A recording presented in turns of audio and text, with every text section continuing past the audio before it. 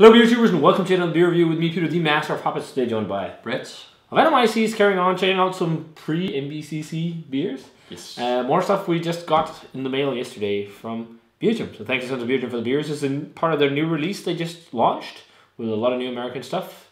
Uh, among others, Decadent Ales. Shout out to Darwin. I think he's on an internship there right now. Darwin's Beer Reviews. I'm not sure if he actually works there. I think he talked about an internship. But this sounds crazy. Hmm. And we I actually got the entire thing of beers that they had from these guys to review because I'd never heard anything like it. They make pastry IPA. Yeah. Kind of like the Omnipollo I had was a pastry sour. So they make pastry style IPAs. And today we're checking out two of their releases, Sticking the Nails. And we're checking out, uh, I guess it's a series that they do called Frosted Pastry, inspired by Pop Tarts. And this is the blueberry frosted pastry and strawberry frosted pa- pastry. And it sounds like, like when you see these cans, when I, I would immediately think, oh, it's a pastry stout. Yeah. But it's IPAs. Yeah. So it's Or maybe uh, sour ales. yeah. Like Yeah. Super fruited sour. sours or something. But this is a double IPA with blueberries. This one with strawberries and cinnamon and allspice. And it says on the can that it's yeah everyone loves toaster pastries, aka pop tarts. Yeah. And here we used a blend of sugars, spices, and real strawberries to create recreate our favorite breakfast treat. Enjoy eight point six percent. Uh, both are that's ABV, and then one this one says the same, just blueberries. So it's made with the actual berry, which is probably why they're not like super colored. Yeah. I think so. Also, because strawberry doesn't have a lot of color, and the American blueberries doesn't have a lot of com- color either compared to the European bilberry yeah, the European is really color. But colored, yeah. I think just because it's not as hazy, we should start with the strawberry. Actually, Yeah. I don't know. We we have some theory that the strawberry one could be a bit more soft or Yeah, and then blueberry, but pours. but it's quite cold. yeah, maybe a bit. yeah. too cold. Never mind. But yeah, pours a lightly hazy golden yellow color. Yeah. It looks like kind of like a West Coast IPA or something actually. Yeah, or like a Midwest uh, Yeah, or like uh, just some of the New England IPAs that aren't like super pulpy. Or like uh, a, a Weissbier. Yeah. Uh, and a nice white head on there. You Yeah. want to check out the aroma on this? Yeah. Let's do it. Oh, that's weird. Yeah, because you definitely Whoa, that's the, weird. the IPA aspect, and then this Whoa, that is so. That is so fucking weird. Yeah, It smells like a pop tart. It actually does. It just smells like frosting and strawberries, but there's also like mango-y, pineapple-y, sweet citrus hop yeah. character. and then cinnamon, yeah, all like spice as well. spicy. Whoa, spicy thing really fucks. That really fucks me up. it fucks with my mind like crazy. Like my mind wants to think pie filling pastry stout, but Yeah. my nose is also getting like juicy New England esque vibes. Yeah, it's like a combination of that spicy, yeah, cakey thing, and then So fucking weird. Let's try this. Yeah. What? Cheers. Thanks to. Beergium for these.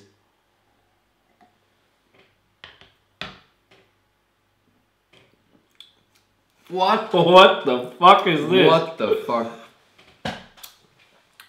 It tastes. Wow, that is fucking weird. That is so weird. I get a licoricey thing. Do you get that? I, I get a bit of maple actually. Yeah, uh, yeah, I actually see that too. I'm getting a bit of like a fruity licoricey thing, and then that maple. It's like vanilla frosting. Yeah. It's like the licoricey thing. I think that's vanilla bean. Hmm. Cause like the rind of uh, like the actual be- bean itself yeah. has like an almost like licoricey thing. It does. You're absolutely right. Whoa, this is having me super perplexed. Medium Yeah. mouthfeel, dry, kind of dry as like a West Coaster or something like that. Yeah.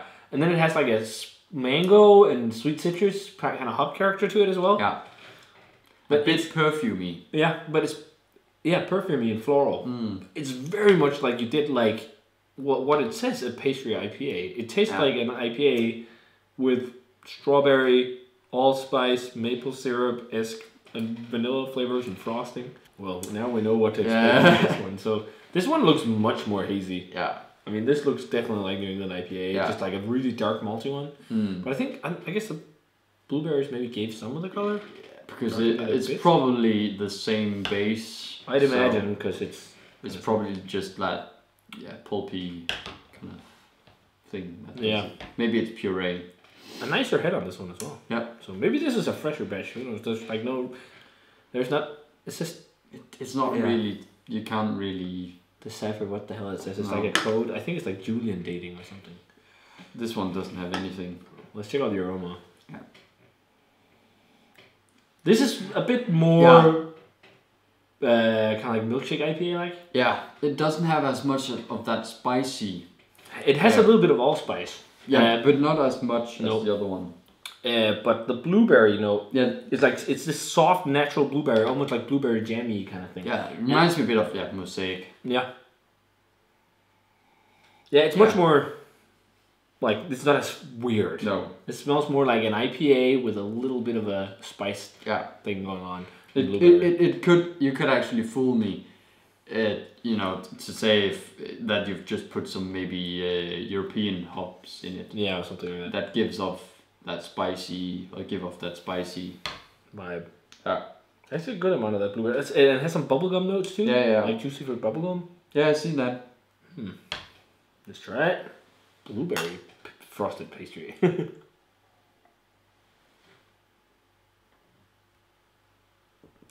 oh, that's much better. Yeah, It's a similar thing, but this is just. I think this is it's much more, uh, much, much better put together. a much better mouthfeel. It's not as fizzy, and the blueberry flavor is there. This is also. It's not like tropical fruit, but there's like a soft undertone of like New Englandy hoppy notes. Like it And has. it's a bit more creamy, I think. It's definitely more creamy and Yeah. fluffy. Yeah. And I think the lightly spicy allspice Lights vibe yeah, it's is, is, is more shines in this. complementing, whereas with this one, it, It's just it- crazy. It's too much there, Yeah. maybe.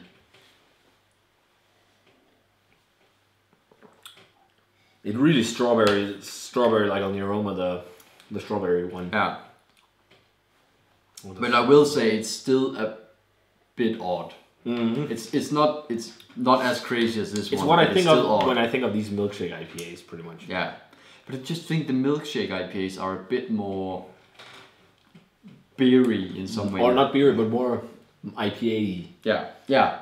Like it's definitely pastry. Like it's it's this other one maybe embodies a pop tart more, where this is like a New England IPA with a pop tart esque flavor. Yeah. You can see what I mean. But damn, I, I can't get past that spicy, licoricey maple thing with this one. I really think like it's an onslaught of that- vanilla.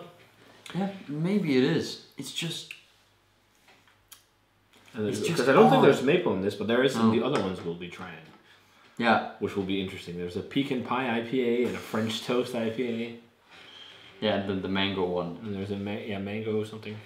I I would give the blueberry a, an 88. I actually think this is rather enjoyable. Mm. Uh, it's kind of like a milkshake IPA to me, and I would say the strawberry would be like an 83, maybe something like that. Yeah, I was thinking. 85 maybe. I was, 83. I was actually thinking 82 on this one, and then yeah, I agree with you on this one. 88. I mean, they're worth a shot for sure because they're. I just check them out just because they're so different. weird. Share them with a couple of friends Yeah. and just get mind fucked. Yeah, 'cause you, like the first sip, I was like, "What the Yeah. fuck is this?" Yeah. Well, that, I guess that's what they try to do. Mm. Pastry IPA. Well, it's been done. So Mm. yeah, this was fun. This was fun. If you guys had a chance to try the Decadent Ales, a blueberry frosted pastry, a strawberry frosted pastry, let us know what you thought of them. Uh, stay tuned for yeah, with three more beers to check out. Probably cracking two of them after this. We'll see. uh, get some pastry IPA going. But if you had any guys, let us know what you thought of them. And as always, remember to comment, subscribe, check out the Facebook fan page and Twitter and Instagram. Give this video a thumbs up if you enjoyed it. And shout out to Darwin because I think he interns there maybe. I don't know. Hopefully he'll start working. That- That'd be great for him. Before we leave, let's take one sip of each and mix it in the mouths to kind of do a cuvee. Okay.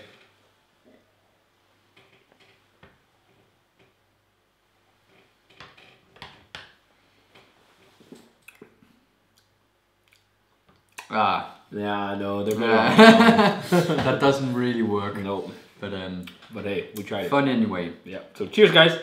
See you in another beer review.